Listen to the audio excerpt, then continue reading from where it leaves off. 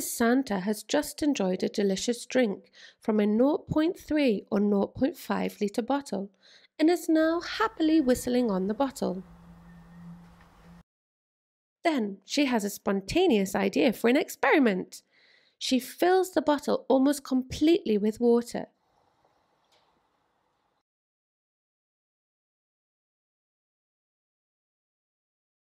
Then she turns the bottle upside down and holds the opening in an empty glass. The distance between the opening of the bottle and the bottom of the glass is several centimetres.